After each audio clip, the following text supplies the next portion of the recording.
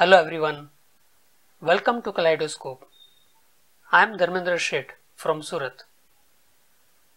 Perhaps you know that Kaleidoscope is a series of activities to commemorate the 100th year of the MTB Arts College, Surat. This video is to give you information about our next program, that is program number 504. This time it is a book review, but with a difference. The title of the book is Business Stories. This book contains success stories of 16 entrepreneurs of Surat. And we have invited the author of the book, Mr. Aslam Charania. He is one of the most sought after business coaches in the region and he is a great orator too.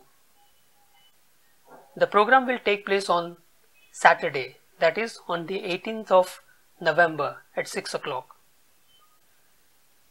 The speaker will make a presentation for about an hour and then we will have a short question answer session.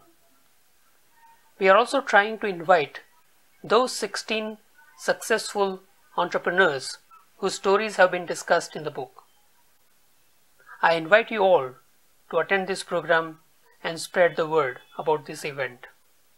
This program is open to all and it will be of interest to anyone. You may be a student, a professional or even a businessman. I look forward to meeting you all.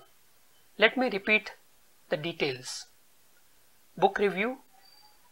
The title of the book Business Stories written by Aslam Charania. The program will take place on Saturday 18th of November 2017 and the venue of the program is KC Mehta Seminar Hall, MTB Arts College, Surat and the time is 6 o'clock in the evening. Thank you very much. Have a great time.